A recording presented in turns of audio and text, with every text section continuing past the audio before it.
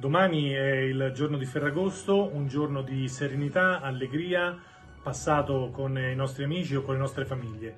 Dobbiamo essere molto attenti al rischio degli incendi boschivi, perché con i fuochi liberi che possiamo accendere per festeggiare il Ferragosto possono essere involontariamente appiccati degli incendi che poi devastano il nostro territorio.